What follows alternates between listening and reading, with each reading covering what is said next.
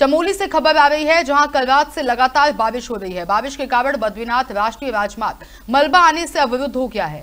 साथ ही बद्रीनाथ राष्ट्रीय राजमार्ग चमोली और नंदप्रयाग के बीच तीन स्थानों पर मार्ग अवरुद्ध है। मंडल चोपता मोटर मार्ग किलोमीटर चौतीस पर दीवार गिरने के कारण बड़े वाहनों के लिए अवरुद्ध है। आपको बता दें कि ज़िले भर में मलबा आने से सैतालीस संपर्क मार्ग अवरुद्ध हो गए हैं। कार्यदायी संस्थाओं द्वारा मलबा हटाने का कार्य भी किया जा रहा है। चमोली से संदीप सिंह की रिपोर्ट।